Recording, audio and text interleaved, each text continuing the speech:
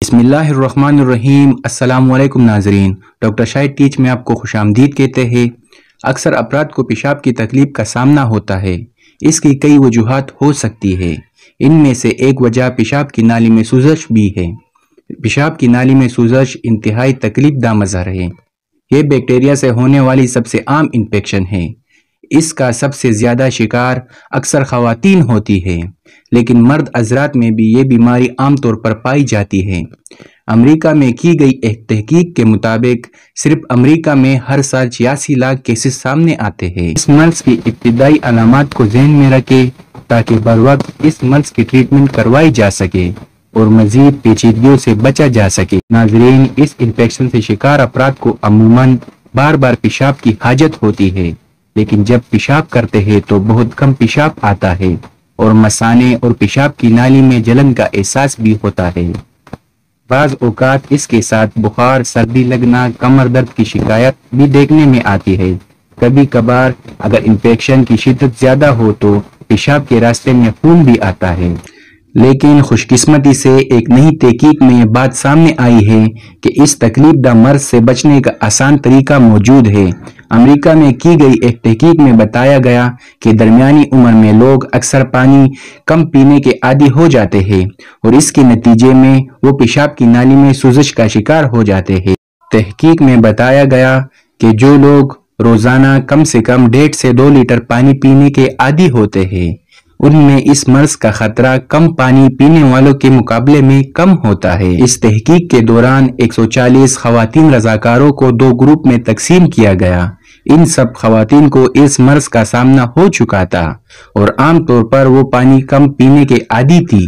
खातन के ग्रुप को इजाफी डेढ़ लीटर पानी पीने की हिदायत की गई। एक साल बाद जब इनका जायजा लिया गया तो मालूम हुआ कि जो खातन ज़्यादा पानी पी रही थी तो इनमें इस मर्ज का खतरा 50 फ़ीसद तक कम हो गया। माहरीन का कहना था कि पानी का पीना सबसे आसान और महफूज तरीका है।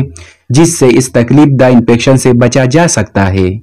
इससे कबल गुजशत साल बरतानिया के डर्मी रॉयल हॉस्पिटल के एक तहकीक में बताया गया था कि दिन भर पानी का मुनासिब इस्तेमाल गुर्दों के मर्ज से होने वाले मौत के खतरे को टाल सकता है।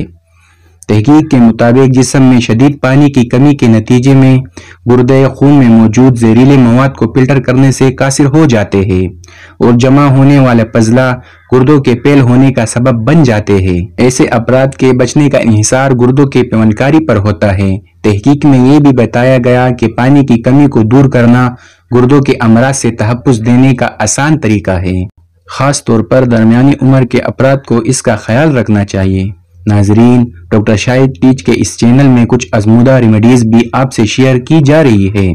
उन कुदरती अज्जा के इस्तेमाल से इस तकलीफ़ द इन्फेक्शन से निजात पा सकते हैं। नाजरीन, मूली खाने से पेशाब की सभी बीमारियाँ दूर हो जाती है। इसके अलावा मूली, जिगर और मसानी की गर्माइश को दूर करने में निहायत मौसर साबित होती है। अगर पेशाब में जलन हो तो एक चिटाक प्याज लेकर डेढ़ लीटर पानी में जोश दे। जब आधा पानी रह जाए तो छान कर पिला दे। जलन दूर हो जाएगी। नाजरीन, दो चम्मच अंडों की सफेदी, एक चम्मच जैतून में मिलाकर पेंट ले और सुबह निहार मुँह, एक चम्मच, एक कप नीम गर्म दूध में मिलाकर पी ले। चंद बार इस अमल से ही पेशाब की जलन और सूजश खत्म हो जाएगी और आराम आ जाएगा।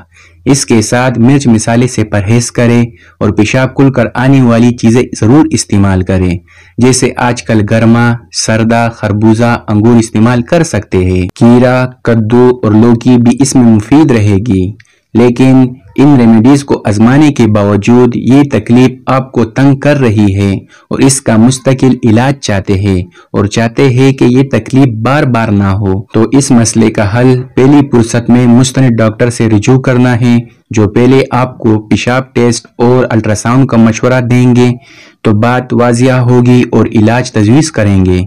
हम उम्मीद करते हैं आपको हमारी वीडियो पसंद आई होगी। दुआओं में याद रखें। अल्लाह हाफिज।